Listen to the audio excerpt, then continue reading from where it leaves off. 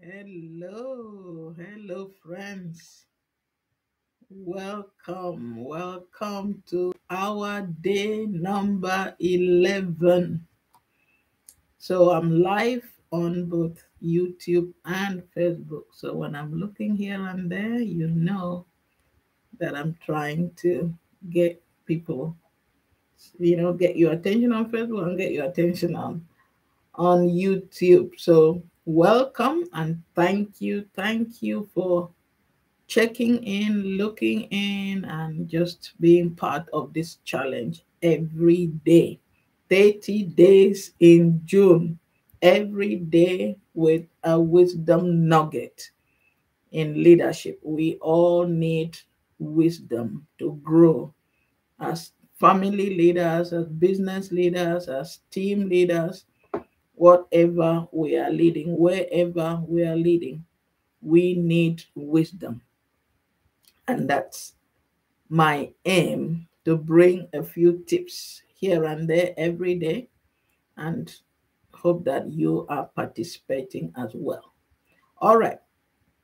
Uh, today's leadership um, tip or title, so to say, is leadership in, in leadership is prestigious. That's our title for today's challenge, 11th of June, 2023.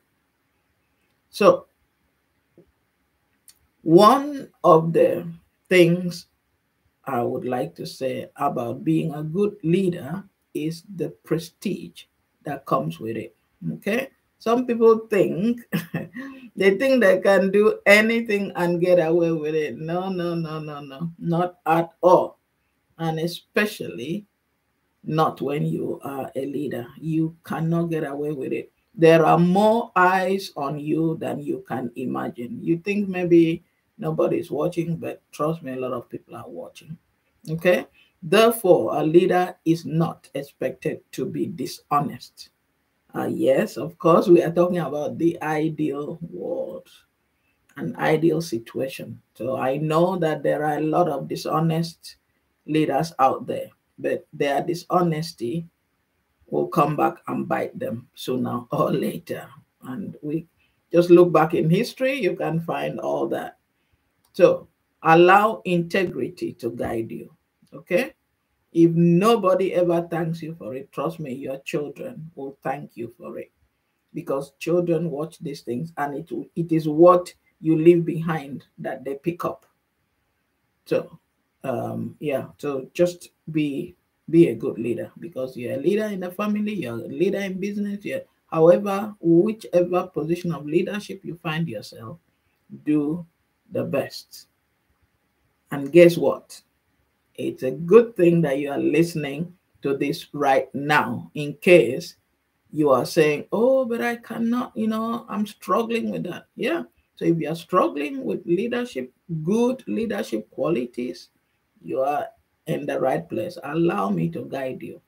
Allow me to help you. That's the whole point of this uh, daily challenge. Everyone needs a helping hand from time to time. And I'm here to help you. I'm here to guide you. I'm here to assist you in your journey. Do not run after money at the expense of a good name and a trusted brand.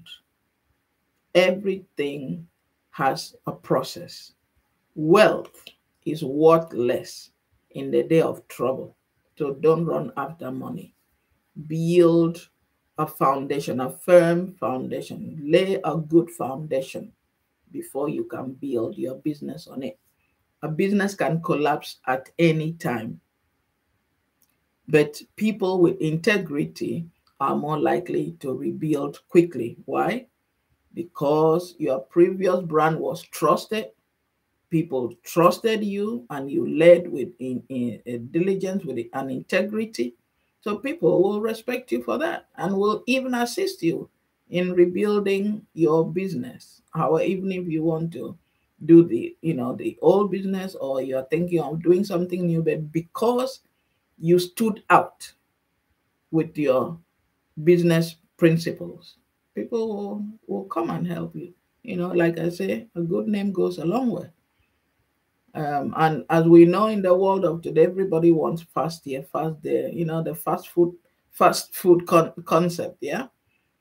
But as we know, fast food is detrimental to your health if you only want to survive on fast food.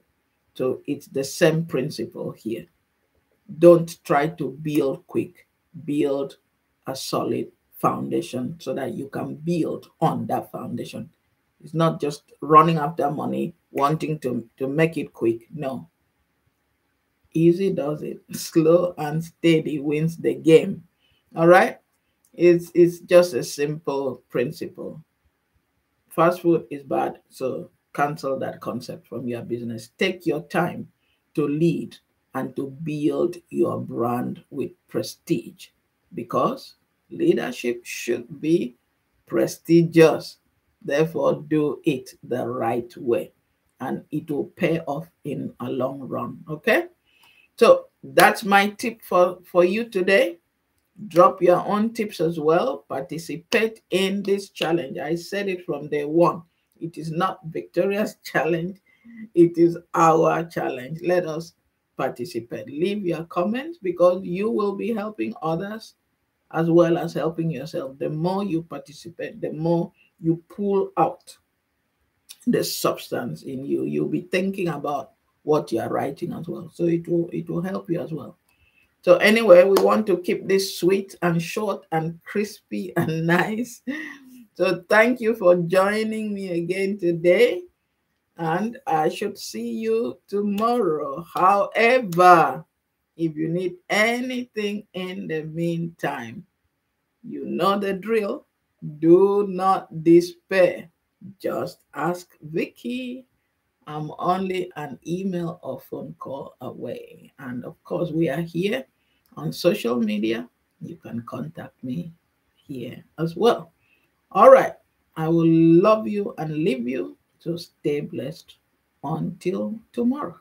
Thank you for today. Bye.